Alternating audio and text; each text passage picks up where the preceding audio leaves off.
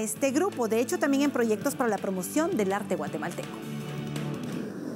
Una propuesta de ley presentada en el Congreso de la República busca contribuir al desarrollo artístico e industria de la cinematografía nacional, así como la protección del patrimonio, con la conservación, preservación y divulgación de obras cinematográficas nacionales. Para ello, se propone la creación de un Instituto Guatemalteco de Cine que tendrá una asignación del presupuesto general de ingresos y egresos de la nación.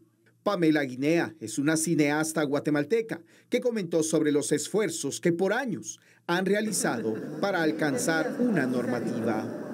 Nosotros tenemos más de 10 años luchando por una ley de cine, hemos tenido varios intentos y este intento de ley, esta redacción, este nuevo trabajo, creo que es el más, más completo, se ha discutido, se ha trabajado con todos los sectores, y creemos que es el momento, es el momento idóneo de tener una ley de cine porque además hemos demostrado sin ley que podemos hacer grandes películas, que podemos contar grandes historias y llenar de orgullo al país y sobre todo también el empleo que genera el cine.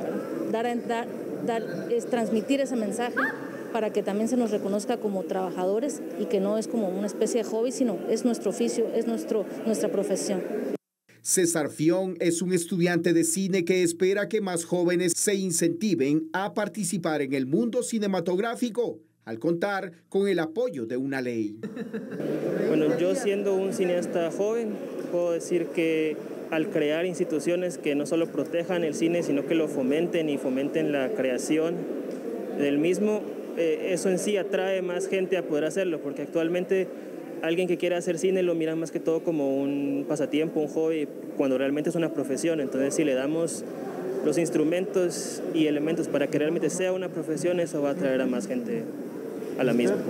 La iniciativa también crea un Consejo Nacional de Cinematografía. Además, todos los cineastas que se registren ante el instituto calificarán como beneficiarios de incentivos y servicios según un informe de la entidad de gestión de derechos de los productores audiovisuales. La asistencia en cines en Guatemala incrementó un 14.8% en 2018, convirtiendo a Guatemala en el tercer país de Iberoamérica con más crecimiento.